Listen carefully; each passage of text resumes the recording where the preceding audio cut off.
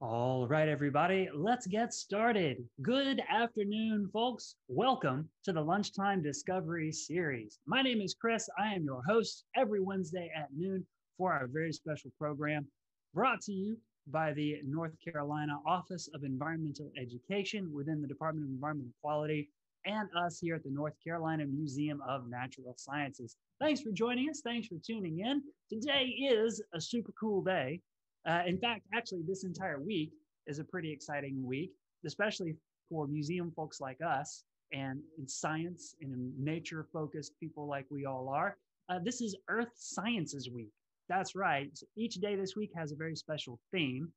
And today's theme is near and dear to the hearts of any natural history museum person out there, I would imagine certainly for us here, and certainly for today's guest. Today is National Fossil Day. That's right. Happy National Fossil Day, everybody. Everybody's, uh, some people, a lot of people's favorite things to go look at when they come and visit our museum and museums worldwide. They want to see the fossils, want to see the old dead stuff that's been dug up from the ground or found. And we can learn so much from them. And right now, we're going to learn so much from one of these fossil experts. Today, for Lunchtime Discovery, our guest is Dr. Christian Kammerer. He's the research curator for paleontology at the Museum of Natural Sciences. Christian, welcome to the program. Thank you so much for having me, Chris. Happy National Fossil Day. It's a great day, right? Indeed. Especially for uh, a paleontology scientist, a paleontologist uh, like yourself, in a fabulous fossil day, a shirt it looks like. Uh, it, yes. That's fantastic. I love that. All right. Well, let's jump right in. Christian, I'll let you take it away. Sure thing. Um, so, yeah, this year's National Fossil Day is in particular celebrating the Permian fossils of Guadalupe Mountains National Park uh, on the outskirts of El Paso, Texas, at the Texas uh, New Mexico border. Um, preserves a really unparalleled view of what's going on in marine ecosystems in the Permian period, which is back in the Paleozoic era. So, with that in mind, uh, I wanted to talk about uh, what's going on at the end of the Permian, uh, which is one of the biggest events in Earth history, uh, the end Permian mass extinction. Uh, sort of what it is, how it came about, and what it means for us today. So getting right into the talk here, let me bring this up. Um,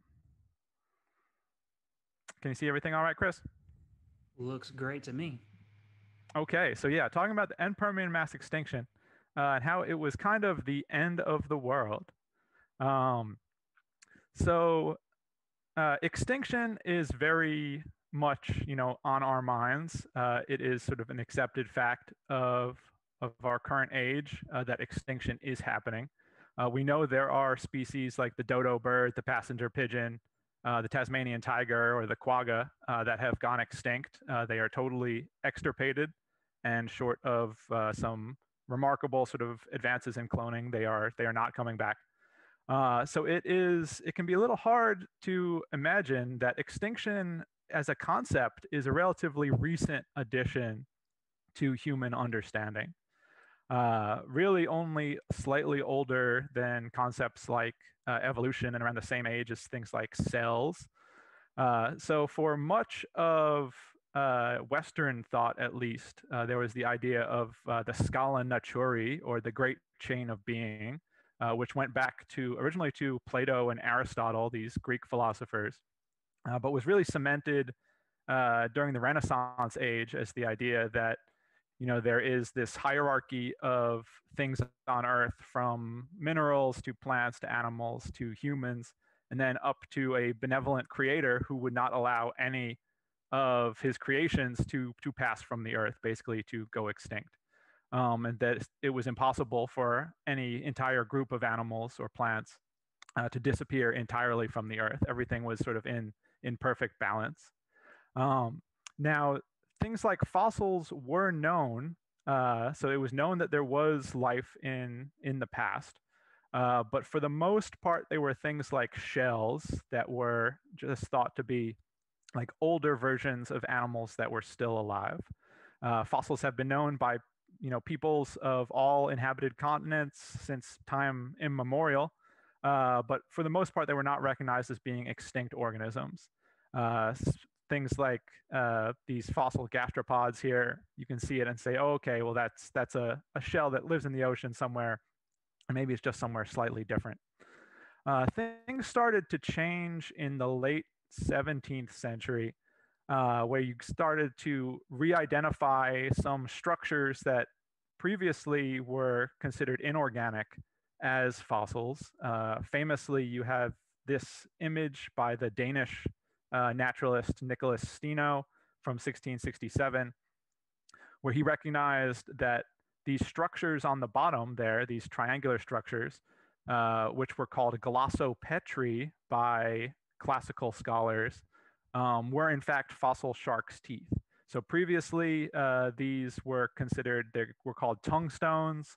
Um, people had a lot of different, often fanciful explanations for where they came from. The famed uh, Roman scholar uh, Pliny the Elder thought that they fell from the moon.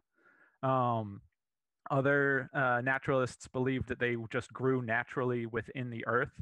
Uh, Steno's uh, contemporary, uh, German naturalist Athanasius Kircher, thought that they were the result of a, a lapid- uh, lapidifying force diffusing through the geocosm, that they were these, the earth itself was sort of growing teeth. Um, all of this, you know, is we know nowadays is is very very wrong. Uh, that these were indeed fossils. Um, this was some of the first evidence that there are uh, there were completely lost uh, species.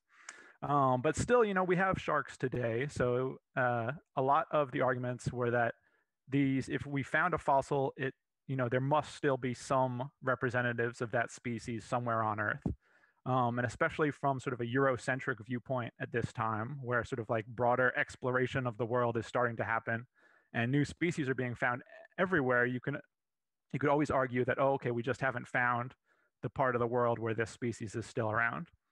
Um, as some examples of that, uh, also in sort of in the late 1600s, you have on the left this giant nautilus uh, presented to the Royal Society in England by the pioneering microscopist Robert Hooke. Uh, much bigger than any modern Nautilus. Uh, and also, Nautilus is not known to exist in England, but you can say, okay, these Nautiluses live in the deep sea somewhere in the Pacific Ocean. Surely, if we, we search enough, we'll find it. Um, on the right, these giant antlers uh, found by Sir Thomas Molyneux, a, an Irish physician. Uh, he said that they were from a moose, uh, moose not known to live in Ireland these days, uh, but you know moose clearly still in Northern Europe and America. So uh, these are all species that are somewhere out there still in the world. Uh, now, of course, we know that this is not true. These are both extinct species. The giant nautilus is an, an ammonite uh, from the Mesozoic era. The supposed moose is this animal Megaloceros, a type of giant deer often called the Irish elk. Um, but at back then, sort of at the beginning of paleontology, uh, the, this was an acceptable explanation. Um, Thomas Jefferson also got in the mix with this uh, with this fossil. So Jefferson, you know, uh, has worn many hats in American history: president, philosopher, slave owner, and uh, paleontologist. One of the first paleontologists uh, working in the U.S. And uh, he was given these claws that were found in a cave in what is now West Virginia, and he named them megalonyx, which in Greek simply means big claw. Um, they are huge, and this was, he argued that they were from a gigantic species of lion that, in keeping with this idea of great chain of being, was still alive somewhere on Earth. Um, now, of course, we don't know of any really gigantic lions anywhere, uh, but at this point, a lot of the, the western interior of the United States was still uh, unexplored uh, by you know colonial settlers and he thought it might still be out there. And indeed, he asked Lewis and Clark uh, when they were exploring the Louisiana Purchase to keep an eye peeled for megalonyx because he thought it was still somewhere uh, in the US. And this is actually part of a broader fight he had with uh, assorted um, gentlemen scientists in Europe.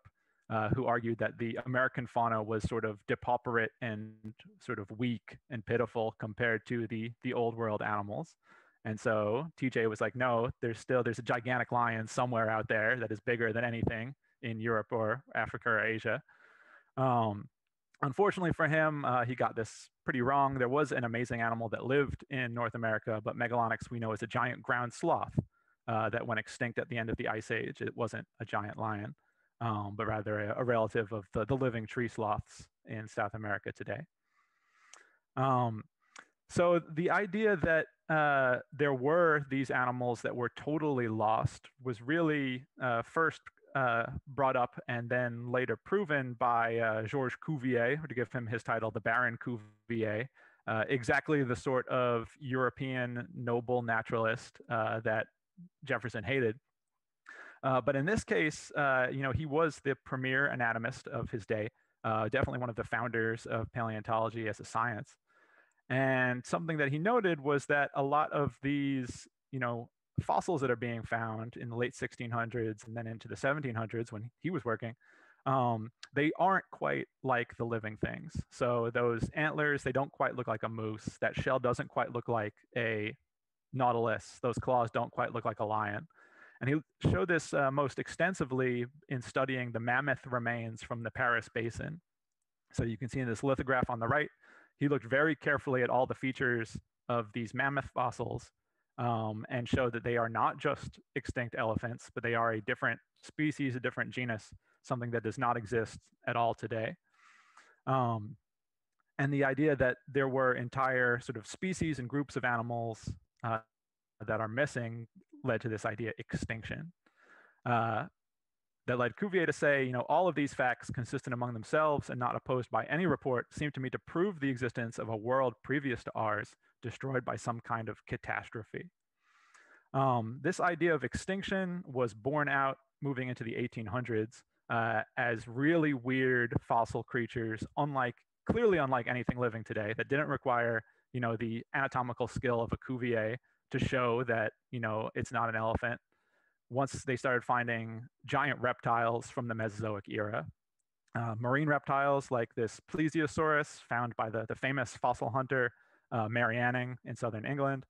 Um, flying reptiles like Pterodactylus, uh, this fossil first found in the, the 1700s, um, but proven to be an extinct type of reptile by Cuvier in 1800 in, uh, this is from Bavaria, uh, and of course, the first dinosaurs, uh, things like Iguanodon, found in 1823, initially from these very fragmentary remains, um, but later from complete skeletons in Belgium, that showed that there were these whole big groups of organisms that are, that are clearly not present anywhere on Earth. Like we'd know if, if dinosaurs were out there. Um, so extinction became, uh, you know, basically settled science that it exists uh, in the first half of the 19th century. Uh, but there was still a big debate going on as to the mechanisms and the rates behind it. Was, as Cuvier said, uh, extinctions caused by these massive, potentially global catastrophes, be they floods or volcanoes, uh, earthquakes, tsunamis, um, or as argued by many prominent geologists of the time, was it more gradual? So uh, Charles Lyell, uh, who was a, a geologist working uh, at around the same time, uh, he restudied Cuvier's uh, work on the Paris Basin and showed quite conclusively that it was not, there's no evidence of a giant flood there. It seems just like the regular geological processes, very slow moving erosion and changes in rivers that we see today, which is called uniformitarianism. Uh, and Lyell instead argued that extinction is real, species go extinct, but it's a very gradual process caused by long term protracted changes in local climate or food availability or uh, competition between or predation between different different species, much like we see in the modern day. Um, and this idea really held sway among scientists for you know 100 years or more after that. That extinction is gradual, it's always going on in the background, but there generally aren't these major catastrophes. Um, however, when you look at the time scale, uh, so this is the looking at mostly on the right there, that's the Phanerozoic. That's the age of complex life, uh, which is breaking, broken up into the Paleozoic, the Mesozoic, and the Cenozoic eras. the breaks between these eras and periods are mostly based on different animals and plants being alive at those times. So we know there are characteristic types of animals that live in the Paleozoic, and they're different from the ones in the Mesozoic, which are different from the ones in the Cenozoic. And those the breaks are actually pretty abrupt at the borders between them, suggesting that it's not just you know a constant smear of background extinction, but that there are major extinctions, so-called mass extinctions, happening in the fossil record.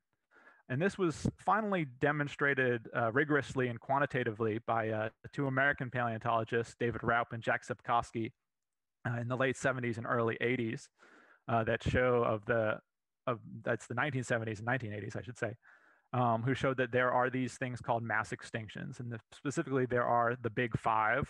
Uh, these are the uh, uniquely gigantic mass extinctions in Earth history. So looking at this plot here, this is a, a map of uh, genus diversity of marine invertebrates through time.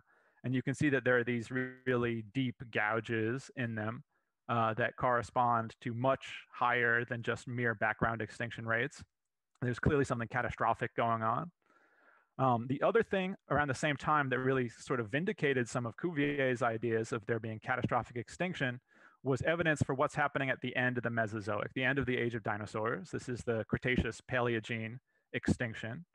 Um, one, an enormous buried crater, the Chicxulub crater, was found on the edge of the Yucatan Peninsula in Mexico. Um, also, work by uh, father and son team of physicists and geologists, uh, Luis and Walter Alvarez, uh, found evidence for a bolide impact due to iridium, which is a, an element that is very rare on Earth, but very abundant in outer space in the asteroid belt um, suggesting that there was uh, either a comet or what we now know to be an asteroid that hit the Earth, and indeed it hit uh, in this impact crater in Mexico. Um, and so this has, in subsequent years, really been, uh, you know, extensively studied and seems to be the smoking gun that there was the extinction of the the non-bird dinosaurs, the non-avian dinosaurs, was caused by an asteroid of enormous size, more than a mile in diameter, diameter uh, impacting the Earth. Um, and so, direct evidence that Cuvier was, at least to a degree, right, that their mass extinctions do occur and they are caused by global catastrophes. Um, and this bolide impact at the end of the Cretaceous is probably the best known of all the mass extinctions, certainly to, to the public, um, because of its role in extinguishing sort of dinosaurian rule over the Earth uh, but it's not the biggest mass extinction in Earth history. Um, when you look at sort of which of those valleys, those troughs, brings the number of genera closest to zero, uh, it's this one. It's at the end of the Paleozoic era, the end of the Permian period, between the Permian and the Triassic. Um, indeed, this was such a uh, terrible event, uh, so destructive, uh, that it's been called like the great dying sometimes there's there's this book that said when life nearly died um, that's probably a bit hyperbolic there was never a real worry that like life as a as a whole would go extinct like there's always going to be some bacteria out there um, at least until the earth is consumed by the sun uh, but it's true that you know most of animals at this time were in very very bad shape and so what kind of animals were they um, well, it's a bunch of uh, taxa that are not really seen much nowadays. Uh, most of them are lost entirely. So uh, it's been estimated up to 95% of marine species. That's sort of the maximum. Lower end, maybe 80% of marine species.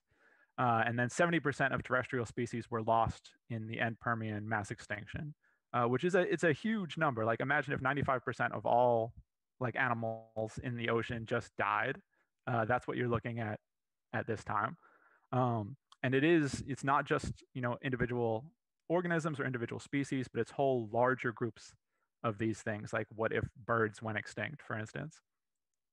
Um, so bring this back also to talking about this is uh, in relation to National Fossil Day, celebrating uh, Guadalupe Mountains National Park, uh, which has these these Permian reefs. So this this is a view of the world before the extinction. Everything going really well uh, in the ocean, Uh, but you'll see it's a lot of types of animals that you don't see nowadays uh, that have been, been lost to extinction over time. Um, the fish are relatively small and primitive. Uh, there are a lot more shelled uh, cephalopod mollusks. Um, and there's also all of these totally extinct groups. So nowadays we have stony corals, um, the scleractinians. Uh, back then they had these rugose corals or what are called horn corals. Um, this group and all the others that I'll be showing are things that were lost, that went extinct at the end Permian. Um, nowadays, most of the shelly animals in the ocean are mollusks, so things like clams and snails. Uh, back then, those those animals did exist, uh, but the majority of the the shelled fauna uh, are these this group called the brachiopods. So there are still living brachiopods. Um, you'll find them some of them in mud, uh, some of them sort of like on rocky coasts uh, in the Pacific. Um, but they're they're generally pretty rare. But in the Permian, you have these whole big groups, you know, thousands and thousands of fossils known, um, and entire entire groups of them, like these are the productid and the orthid brachiopods, were wiped out entirely by the extinction. Uh, there were also a lot more of these stalked echinoderms. Things like the crinoids are the only living representatives, and you only see stalked forms in the deep sea. Uh, but you also have these groups like cystoids and blastoids. So this is that's the calyx of a blastoid. That's the tip where the feeding tentacles were, and then it's on this long stalk that's sort of rooted to the ground. It's a filter feeding marine animal. Um, a lot of the mobile, so not just the the sessile uh, marine invertebrates, go extinct at this time. The the noble trilobite, one of the best known of all fossils known throughout the Paleozoic, finally gives up the ghost as a result of the Permian extinction although they had been on the decline for a while before then. Uh, you also see the loss of the Eurypterids. These are the sea scorpions, some of which achieved enormous size, up to you know 15 feet in length. Um, the last one of those go extinct at the Permo-Triassic, and a lot of the shelled cephalopods as well. So particularly this whole group of ammonites, the goniatites, go extinct now, and you have only a, a handful of species that are sort of surviving into the Triassic. Although that group at least does go on to then re-diversify, And so you get all these ammonites coexisting with marine reptiles in the age of dinosaurs. Um, marine vertebrates also uh, very badly uh, suffering from this. So you have uh, groups like the acanthodians, sometimes called the spiny sharks, uh, which include some of the ancestors of modern modern chondrichthyans, modern sharks and rays. Uh, this group goes extinct at the boundary uh, you also have these very weird chondrichthyans, the eugenodontids. So what you're seeing here, it may look like an ammonite shell, may look like a coiled shell, but it's actually the tooth whorl of one of these uh, big predatory chondrichthyans. So historically, they were called sharks. Uh, recent research suggests they're more closely related to uh, ratfish, uh, the chimeras, um, but would have been very shark-like in habitus uh, and certainly would have been powerful predators. Um, things like Helicoprion, which is one of these uh, Permian taxa, also grew enormous in size. Uh, this is a life-size restoration of one sort of a larger Helicoprion, and some of its close relatives, like Edestus, were equal or perhaps even larger in size. So the eugenodontids, they actually did survive into the Triassic, um, but at pretty diminished, uh, uh, pretty diminished numbers, and they sort of blink out later into the, the Mesozoic. Um, so these marine fossils, you know, they're known very nicely in Texas and they're known worldwide, uh, but the, the exact moment of the extinction is uh, best represented uh, by a really beautiful section in Meishan in south central China. Um, it has these, these really beautifully exposed uh, strata uh, in a bunch of sort of box canyons uh, that s- span the gap between the Permian and the Triassic period. So that's where the the golden spike is put. So golden spike, it's a stratigraphic concept. It's the uh, global stratotype section and point. So that is the uh, it's it's used as reference for the the border between two geological periods. So that's exactly where we say the uh, the, the Permian ends and the Triassic begins. Um, and it, the the stratigraphy is really beautifully worked out. There's been decades of work um, by stratigraphers and paleontologists looking at this site such that they've been able to pinpoint uh, the border between these two, uh, between sub beds B and C within bed 27 of this sequence, uh, which is uh, sometime into the mass extinction. Um, but it's the border between these two index taxa, between Hindeodus uh, changxingensis and Hindeodus parvus. So these index taxa, um, these are fossils that ideally are very abundant and are found worldwide so that we know when Hindeodus parvus shows up that you're in the Triassic. And so they're found on lots of continents, um, but very, uh, very detailed record here. Um, these uh, index fossils, Hindeodus, they're what are called conodonts. For many, many years, they were only known from these isolated uh, tooth bits, and it was a mystery what the conodont animal actually looked like. Uh, it thought for a while that they were actually like types of worms or maybe mollusks. So it was actually very surprising when a complete conodont animal was found, and it turned out to be an early vertebrate. So an animal, you know, including ourselves and birds and reptiles and fish. And actually, it seems like conodonts are more closely related to us and to other bony fish uh, than they are to lampreys and hagfish, the living jawless fish. Um, conodonts, very weird looking animals. The actual conodont uh, elements. The, the teeth uh, were arranged like this inside the mouth of these things. Um, very bizarre looking, but they were incredibly common uh, parts of marine ecosystems for, for much of the, the Paleozoic and even, then even into the Triassic. Um, and indeed, uh, at the geopark that has been set up around the Meishan section, there are these monuments to Hindeodus parvus, which I think are absolutely amazing and would like to see a lot a lot more of that uh, sort of you know statues celebrating some some famous fossils, especially those that are maybe more obscure than dinosaurs. So the marine Permo-Triassic extinction very well understood. Uh, what's going on in the terrestrial realm?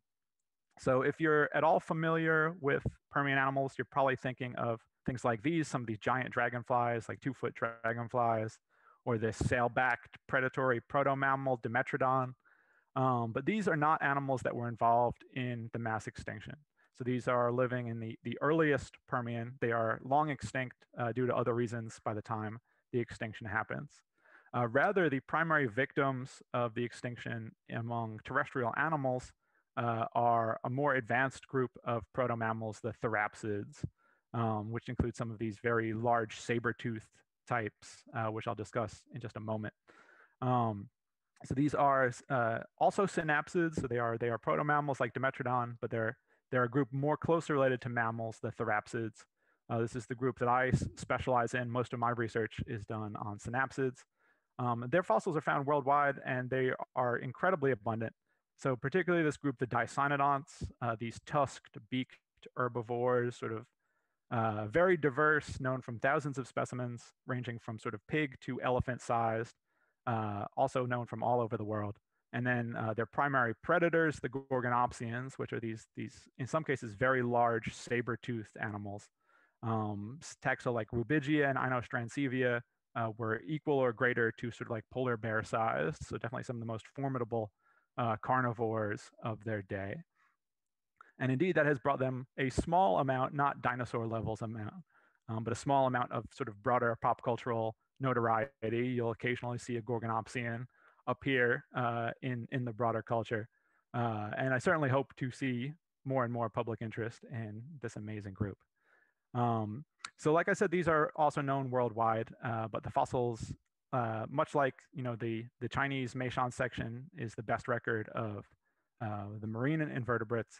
Um, this part of South Africa called the Karoo Basin uh, which covers actually two thirds of the land area of South Africa. It's very extensive, uh, is the best record of uh, the terrestrial Permo-Triassic extinction. Um, and the stratigraphy of the Karoo Basin has been worked out in really exquisite detail. Uh, there was a uh, special memoir published uh, just this year looking at the, the ages and sort of the changes in rocks and the faunas going through the Karoo Basin um, from the late Permian into the Triassic. Uh, lots of exposure of the stratigraphy there. So we actually, again, have a, can pinpoint with a good deal of accuracy uh, when the extinction is starting and sort of like what's going on in terms of the geology associated with that extinction. Um, and what we see is there is a shift from uh, what seem to be relatively wet environments with these big saber-toothed carnivores and lots of herbivores of many sizes uh, to a much drier ecosystem in the Triassic, much more arid. And that seems to be what we're seeing worldwide, uh, is that it's, it's becoming hotter, it's becoming drier, the animals are becoming smaller. Um, and in the Karoo, at least, also it's, it's interesting. There's this one particular genus of Dicynodont, Lystrosaurus, starts to become super abundant at the very end of the Permian, and then uh, is also abundant in the Triassic. Uh, and just to show that this is not uh, only going on in the Karoo Basin, there's very recent work came out last year showing a similar turnover in the latest Permian in the Ordos and This is also in China. And basically everywhere uh, we have terrestrial records of the, the Permo-Triassic boundary, there seems to be a pretty sharp cutoff where we're losing lots and lots of species and indeed whole groups of animals uh, of various terrestrial groups. Um, so what caused this? Uh, and the there are a lot of sort of there's a lot of background to that, and it's a pretty complicated question. Um, but the shortest answer is volcanoes. Uh, this is another case where Cuvier seems to have been correct in that there was a pretty catastrophic event going on. Uh, and it's what's called the Siberian traps, Trappean volcanism. So imagine, if you will, if look at the map to the left there, uh, everything that's sort of like outlined in black, uh, that is evidence of lava at the end of the Permian. So basically, this is a super volcano that was covering most of what is now Siberia. Uh, a total of 3 million square miles covered in lava. Uh, a total actually of 1 million, it's been estimated, cubic miles. So imagine a cube, uh, one mile by one mile by one mile. Uh, that much volume of lava exuded uh, from the earth at this time. Um, so it's thought this was the result of a mantle plume, basically a, a superheated part of the, the molten center of the earth, uh, rising up higher than it usually does and melting the, the overlying crust. Um, but you can imagine how catastrophic this would have been for everything living, basically everything living in Asia or Europe at the time. Um, and just to show you sort of like where on the map uh, this would have happened. So this is the Earth in end Permian times with the modern continents overlaying on it so you can get an idea of sort of what was going on. So you can see North America there to the left, um, and then it's still attached to Africa and South America. And so this Trappean volcanism was happening in some the northern hemisphere, uh, even back then, in what is now Siberia. Um, and just to situate yourself for some of the other regions I've talked about, that Meishan uh, uh, Chinese marine invertebrate fauna is found around here. And then the Karoo Basin, where you get all those uh, synapsids, is found down here. Um, so with that in mind, uh, you might ask, well, okay, uh, may, I can see that if they're like all of Siberia is just covered in lava, that these poor conodonts living in the sea next to it are probably going to die. Um, but these dicynodonts and gorgonopsians and stuff, they're living all the way on the opposite side of the earth. Surely they're not getting melted by lava. Uh, so why are they going extinct? Um, and this has to deal with the uh, sort of the the ultimate causes of the mass extinction, which is the the uh, the supervolcano is just a driver of what ended up being uh, later instability. Um, and one, like it's uh, it's worth keeping in mind how even one volcano, the amount of an effect it can have on the world at large. So you may remember uh, a few years ago, um, this volcano in Iceland, uh, Eyjafjallajökull, was erupting very consistently, and that basically all air travel to and from Europe was uh, canceled for for weeks and weeks um, because it was you know ash was being spread all over uh, that part of the globe. Um, going further back to an even more destructive, but again, just a single volcanic eruption, not the thousands of years of constant volcanic eruption like the Siberian traps. Um, in 1883, you have the eruption of Krakatoa, still one of the most destructive uh, volcanic events for which there's any record uh, in human history. Um, and in, addition to sort of destroying 70% of the, uh, the land mass of the island and causing tsunamis that killed you know, upwards of 30,000 people uh, in surrounding parts of Indonesia and Malaysia, um, it also uh, changed the Earth's climate for years. So it's been estimated that uh, as a result of the sulfur dioxide that Krakatoa put up into the atmosphere, global temperatures dropped by 0.4 degrees uh, centigrade uh, for some time afterwards. Um, so it is possible for these volcanic events to have major changes to Earth's climate. Um, of course, you know, that was sort of a weird circumstance that a volcano caused global cooling. What we think is happening in the Permian is instead global warming. So the Trappean uh, volcanoes were releasing huge amounts of carbon and specifically carbon dioxide that were you know previously embedded in the earth uh, into the atmosphere. So carbon dioxide, well known as a greenhouse gas, uh, driving this global warming event. Um, and you can see that uh, in between the maps of late Permian Earth and then early Triassic Earth. So late Permian Earth is what we call an ice house world. So there are there are large glaciers. Um, the poles are quite cold. So we are currently in sort of an ice house world right now. Um, and Triassic is hothouse. So the glaciers have all melted, sea levels have risen. Uh, the equator is has largely become desert. So you can see, you know, there are some desert belts in the Permian, but there's also, you know, these mountains, a lot of uh, greenery near the equator. Uh, the Triassic, those deserts have expanded uh, quite to quite large size. Um, and so what happens here is there's a feedback loop that where you get from global warming started by the volcanoes into runaway global warming uh, caused by release of uh, greenhouse gases elsewhere in the geosphere. Um, so just this is a uh, sort of an overview of what's going on. Um, and it starts out with these, the Siberian traps uh, volcanoes releasing carbon dioxide, driving up uh, global temperatures initially, you know, by not that much. Uh, initially, like first by one degree centigrade, and then sort of by the end of the of the Trappean volcanism by five degrees centigrade, which actually is a lot. Um, and the ocean absorbs most of that heat. Uh, and what happens is once the ocean uh, starts to be sort of hot throughout, or at least warm, you lose ocean currents. So ocean currents are related to uh, differing um, temperatures between the upper part and the lower part of the ocean, between the surface of the ocean and the air. Um, and so once those have been sort of like stabilized as generally pretty warm, uh, the sea starts to stagnate.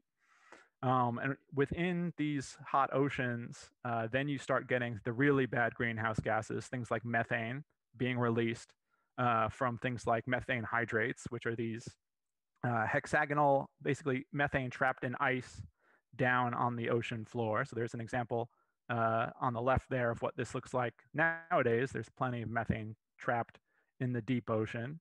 Uh, and once those start to be released, it's it's too late. Uh, the global warming just goes out of control, uh, raises uh, several more degrees centigrade, and you get to the point where the equator is actually so hot it's basically uninhabitable.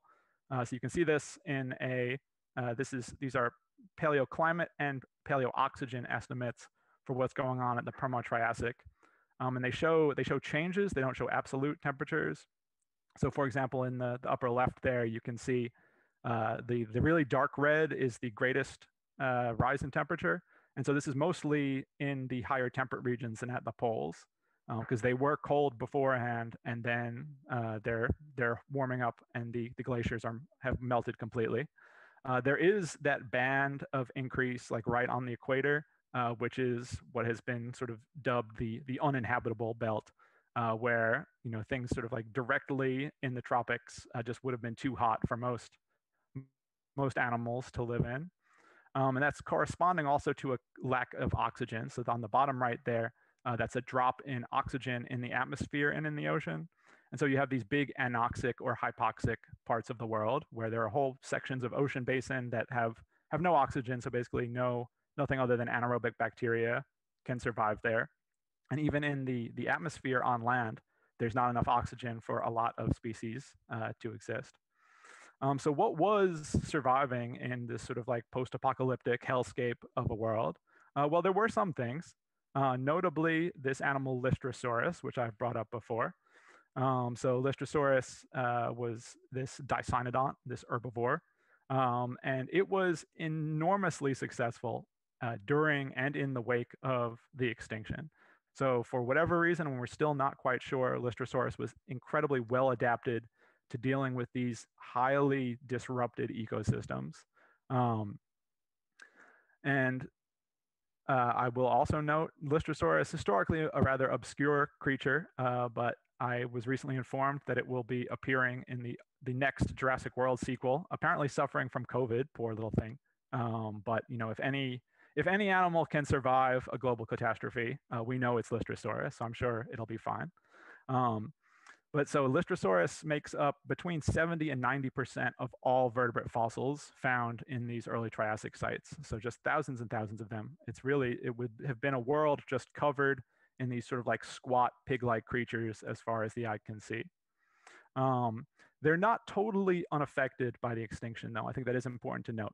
Uh, they do suffer from what's called the Lilliput effect. So this is named after the, uh, the part of Gulliver's Travels where, you know, Gulliver goes to this country where everyone is really tiny, the Lilliputians.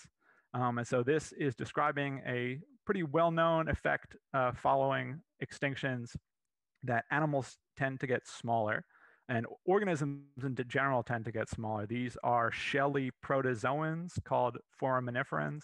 And this is actually showing what's happening at the end of the age of dinosaurs at the Cretaceous Paleogene event. So you have these, you know, big happy forams uh, earlier on in the Cretaceous, and then as they start to get stressed during the extinction, you see smaller and smaller body size. And then following the extinction, they're all really tiny. Um, and you see the same thing in the Permian, looking at snails and clams. All the ones after the extinction are much smaller. And this makes sense because, you know, animals need, uh, they need food to grow. And if the ecosystem is very bad and they're under a lot of stress, uh, they can't eat as much. There is less food for, out there for them to consume. And so they need to stay smaller if they're going to survive. Um, it's too energetically expensive to be big. Uh, and you see this in Lystrosaurus as well. So the Permian species, Lystrosaurus maccaigi, is sort of a hippo-sized animal. Um, the early Triassic ones, they're much smaller. They're sort of max pig-sized and, and, usually sort of like, you know, some badger-sized things. Um, another thing that's important to note here with Lystrosaurus and all of the therapsids that actually survive into the Triassic uh, it's the survivors seem to have been found in burrows, like these were animals that were burrowing underground. So you see this in the Triassic Lystrosaurus. You also see this in cynodonts, which is another group of therapsids. This is actually the one that uh, eventually evolves into mammals. So these are some of our own ancestors, this cynodont group. Um, and we know that they were living in burrows because uh, there are beautiful fossils like this this is an exceptional uh, specimen that was actually a, a, complete burrow that they looked at with the synchrotron scanner in, uh, in Grenoble um, and found that it was a whole uh, cynodont curled up next to this whole amphibian that were sharing a burrow together. Um, so why might burrowing be important? Well, if you're losing oxygen worldwide and it's becoming hard to breathe, uh, animals that already live underground have to deal with that all the time like moles and like mole rats, these other things that are living deep in burrows, at any given time, their burrow might collapse and they might be like stuck breathing bad air, stale air for long periods of time until they can dig their way out. So they need to be pre-adapted to dealing with low oxygen conditions. Um, so if you were already burrowing before the extinction, you have a better chance of surviving that dip in oxygen. Uh, it also means that you're not exposing yourself uh, to, you know, global fires to the extreme heat of the day. There are a lot of reasons why being a burrower would be good in a catastrophically warmed world. Um, and so we see that in a lot of the survivors. Um, of course, life did survive. And indeed, the extinction, it was good in a sense in that it allowed, if you're members of these groups of extinct animals uh, and, and modern animals, uh, that it basically is sort of like cleared the slate. Like all the groups that were dominant in the Permian tended to be wiped out, and it allowed new groups of organisms to diversify and take over uh, that empty eco space. Even though that was a very, I should emphasize, that was a very protracted uh, phase. It took, you know, maybe estimated between five and 10 million years uh, for ecosystems to recover from this event. Um, but those that did went on to be things like mammals. So the cynodonts evolved into mammals by the end of the Triassic. Um, amphibamiforms, which are a group of fossil amphibians, uh, they gave rise to modern frogs and salamanders in the Triassic. Um, and then this group of early archosauromorphs, which are these large carnivorous reptiles, uh, they diversified into uh, two major groups, the crocodilians, which are still around today, and the dinosaurs, which we have today in the form of birds. So all of these groups, which are still very important members of the modern faunas, can thank the Permo-Triassic extinction for basically uh, opening up the way for them to, to diversify. Um, we also see a lot of the, the later Mesozoic groups like mar- marine reptiles like the ichthyosaurs and plesiosaurs, and then uh, a lot of invertebrate groups uh, like crustaceans um, and mollusks, and a lot of the fish groups really start to take off uh, moving into the Triassic. So also um, having cleared out a lot of the lot of the brachiopod groups, a lot of the other extinct shelly fauna, um, opening the way there. So again, upsides of the mass extinction. Uh, and just to give you an idea of like the incredible amount of diversity that you do see later in the Triassic, all these weird and wonderful marine and some even aerial organisms. And then of course, all the diversity of the terrestrial dinosaurs uh, throughout the end of the Mesozoic until they themselves get wiped out by the asteroid impact and then the mammals take over. Um, so there is, you know, there's silver linings to all this. Um, but so what, but what does all of this mean for us? Uh, so we know extinction is happening today. Can we learn from the Permo-Triassic event? And I would say uh, yes, and we should be thinking about that uh, quite intensely, in fact. Uh, so we know that the Earth is currently warming. Um, evidence for this is, is quite clear and it's very good that this is being driven by the release of greenhouse gases by human activities. Um, so, and this is, you know, it's not, you think back to this figure here, where different parts of the earth are warming at different rates versus the ocean and the land. And there's uh, changes in sort of the amount of uh, temperature raised between, say, the equator and the Arctic. And that's also what we're seeing right now. So this is just what has happened earlier this year. And you'll note that there are there are parts of the US that are seeing averages, but most of it is above average. And then you get these little blebs moving into the tropics, like you'll see in South Florida, uh, that are uh, far outside of the normal range and are all like year after year as hot as it's ever been, uh, hotter than it has ever been. Uh, I'm from Florida, uh, and yeah, it's it's a hot state, always was.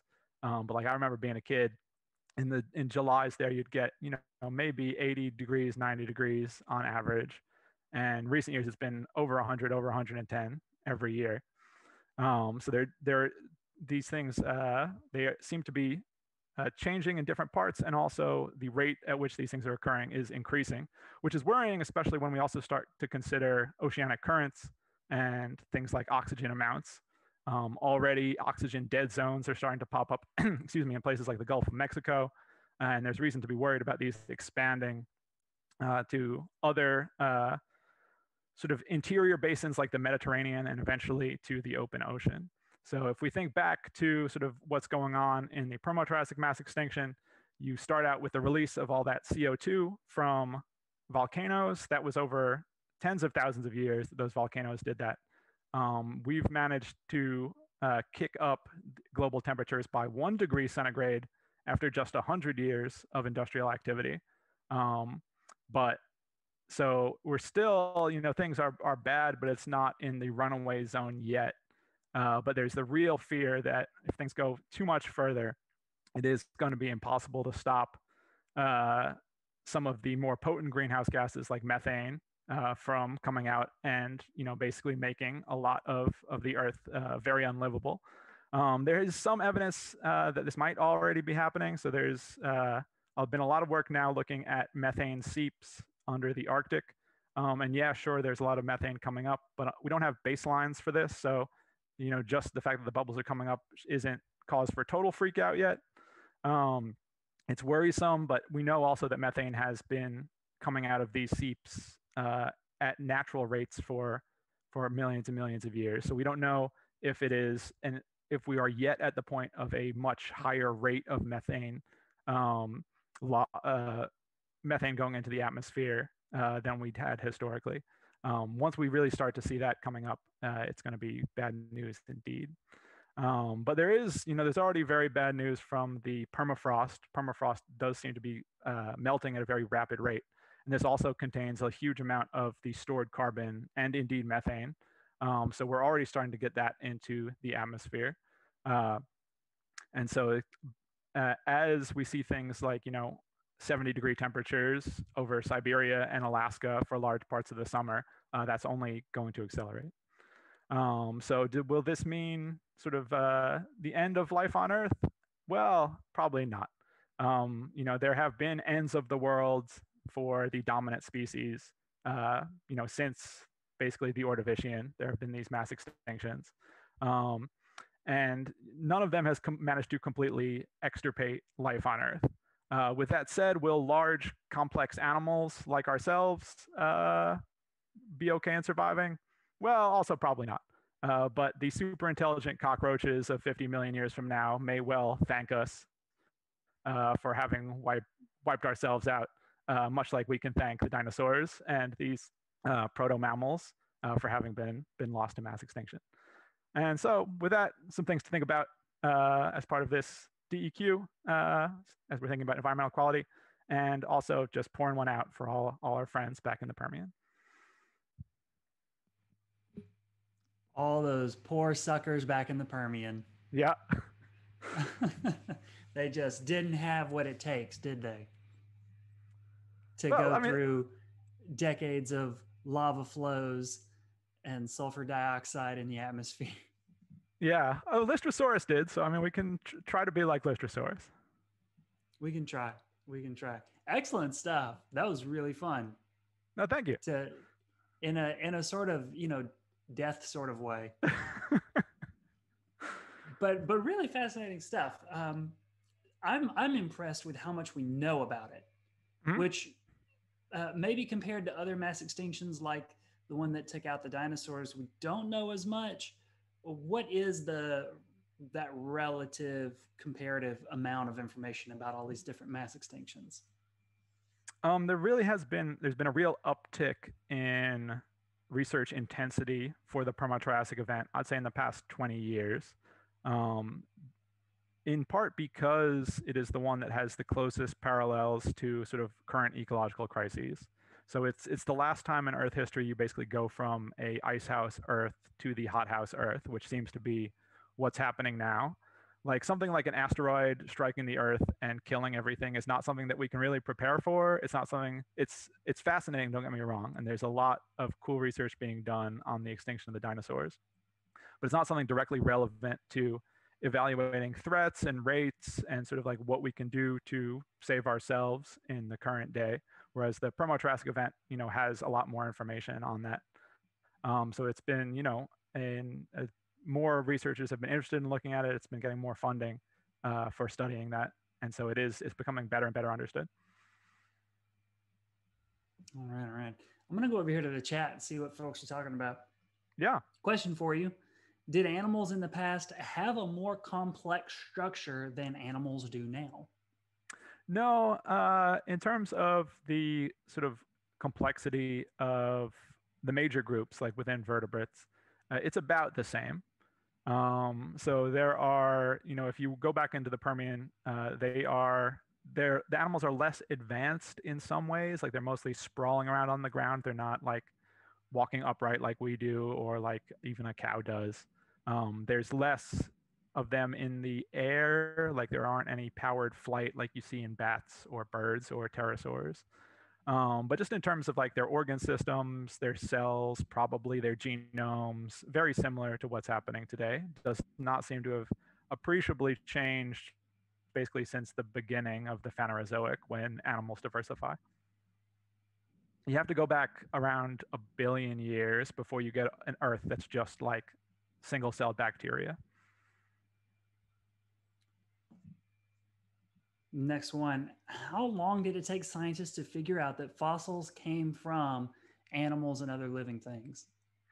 It was a, you know, it, it, it depends on sort of like what scholarly tradition you're working from.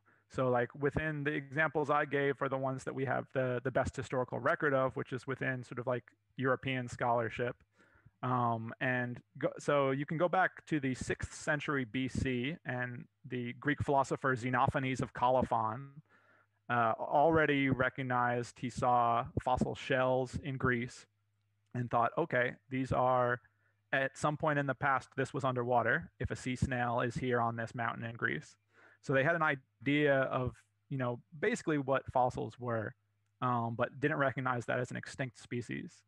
Uh, if you go into other scholarly traditions, uh, you know, uh, some of the native peoples of Australia, Native Americans, uh, there is recognition of fossils as as being re- representative of animals of some kind and possibly uh, forms that no longer exist uh, in the world.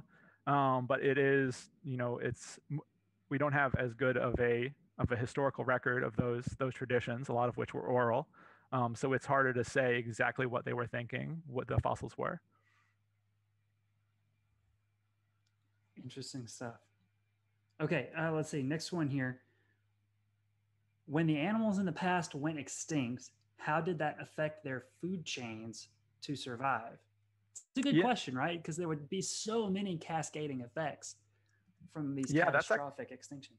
That's actually something that I'm doing a lot of work with right now. So, uh, in collaboration with colleagues at the Field Museum and the California Academy of Sciences, uh, they're looking at what are called KEG graphs, which stands for uh, cascading extinctions uh, in geologic time. And so basically, we're uh, looking at the food chains in before and after the extinction and seeing how much perturbation uh, the system will accept before everything collapses. Like if you remove half of the plants in an ecosystem, will that drive everything else to extinction? Um, and what we find is that you know the uh, in the immediate sort of post-extinction period is it seems like uh, even the most basic primary production was lost.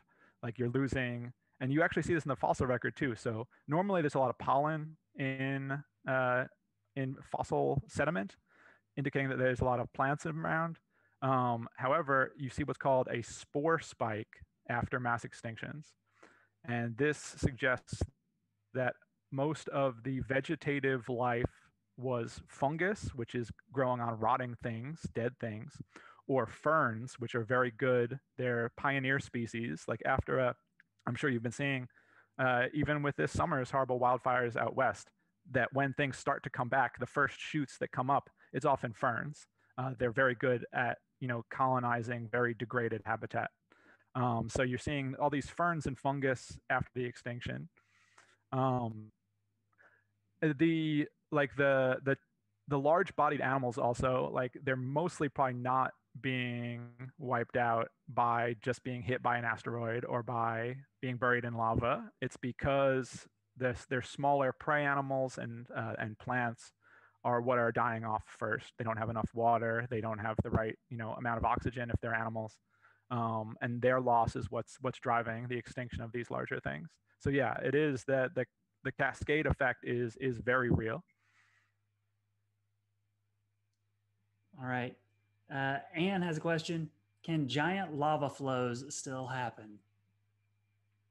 Yeah, uh, certainly. Um, uh, it, but it would be, it, it's very protracted. So there is, like, you'll hear sometimes in the news all these worries about the Yellowstone supervolcano. Uh, and mm-hmm. do not worry about that uh, as, well, at least as, okay, I mean, you compared to other things, compared to other aspects of environmental change, that is should be on the bottom of your list. Um, it's possible that it will happen. It is possible that an asteroid will strike the Earth and cause another mass extinction. But these are it's such a vanishingly small uh, percent chance. Um, I mean, what is constantly happening is that there are changes in the tectonic makeup of the Earth, uh, sort of like the positions of plates, um, there are upwellings from the mantle. Um, it is possible to get mantle plumes that could create sort of trappean volcanism. But again, they're super rare. Like in the history of complex life on Earth, there is only a handful of these, these traps events. Um, there is another one in the Cretaceous in the Deccan traps in India. Um, there are a few more going way back into uh, the Precambrian. Um, but yeah, there it's a at any given time, it's it's very unlikely to happen. And also, it will take you know thousands of years for them to work up the steam to cover something as large as Siberia. So, uh, yeah, don't worry about that. Good to know. Good to know. Okay, uh, there's just a couple more here. After the runaway global warming, how did the climate restabilize? So it basically didn't. The Triassic was super hot and super arid for much of its time, and the animals that diversified there were ones that uh, were able to adapt to those changing climates. So, like the uh, the radiation of reptiles at that time, especially these these archosaurs, but also the squamates, so the lizards and the snakes. Um, it has been argued that the reason why they were relatively successful and these proto mammals uh, were not super successful is because you know uh, reptiles are better for dealing with arid climates. Um, they can you know they have impermeable scaly skin, so they're not losing moisture uh, to the heat and the dryness like we mammals are all the time.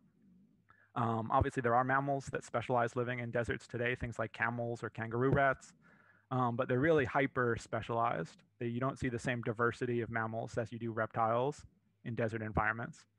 Um, so there are, you know, there are a few little relict uh, humid zones, even in the Triassic, usually associated with mountain ranges and rift lakes. So another thing that's happening in the Triassic, and this is uh, it's like I said there, it's it's a complex history. This extinction. It's not all the volcano, even though that is it's a big part of it, but also the continents are changing their position. So you're going uh, to the Pangean state where all the continents form one supercontinent, Pangaea. Um, and as that's happening, you're getting this rifting, so continents tearing apart, coming together. And so around those boundaries, you do get some relatively cool, relatively wet areas. And so we think that's where things like these amphibians are starting to diversify. We think that's where the proto mammals are diversifying. Uh, as a point of local interest, I will note that uh, where we are in uh, Research Triangle in North Carolina is part of what's called the Deep River Basin, which is one of these ancient rift basins from the Triassic. And so when you look at the fossils that you can find uh, around here, uh, you do see a lot of cynodonts and a lot of early amphibians. So it suggests that this was one of those those wetter environments. If you look at Triassic rocks from out west, like all the stuff from Texas, New Mexico, Arizona, uh, it's mostly reptiles, and there's very very few proto mammals. So it suggests that that was part of the main sort of arid belt. Um, it was a lot more more desert or at least monsoonal type climate where it's arid part of the year and maybe has heavy rains uh, briefly during a wet season.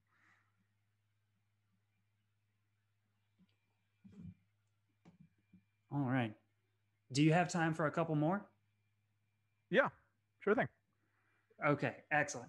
Uh, Michelle's got some great questions here. I didn't want to miss them. How are you able to distinguish the difference between a fossil of an organism and a fossilized impression of an organism's teeth or a path, like with the shark like one you presented? Yeah, sure thing. So we do find both. So there's there are there and they're all considered fossils. So it doesn't have to be the original bone to be a fossil. Um, so you have like true mineralized elements. So that means like think of a bone or a tooth. When it gets buried in the ground, uh, molecules of the surrounding rock filter into it through pores and replace whatever the you know the blood or the meat, uh, whatever's in there inside the marrow cavity, with rock to create a fossil. Um, but you can also have over the course of millions of years let's say like a little hole on the edge of where that fossil is as erosion brings it towards the surface. Um, it can be like, you know, just a few millimeters hole on the edge there, and rain gets in, and all of a sudden the acid that is naturally in rain um, starts to dissolve that element. And so that in that case, you just get the empty space, that trace of where the fossil was. So that's called that's called a mold. Uh, then let's say that that you know, mudslide comes through, covers it up again. And so mud starts to go through that tiny hole and fill it. And so you get what is in no part the original fossil left, but it's a perfect, what we call a cast of the original fossil made by, in that case, it would be mudstone. We see that a lot actually. Uh, so they're, they're very common. They're also informative. Um, you know, we can't do things like histology on them or uh, like molecular paleontology uh, some of the more advanced modern techniques, but in terms of just telling us the shape of fossil animals, uh, still very useful. Um, really commonly seen in uh, fossil sea snails too. You often get what are called these steinkerns, which is basically just like the whirl of a snail shell gets filled with mud, the shell breaks off and is lost, and then you have that that mud cast still in there.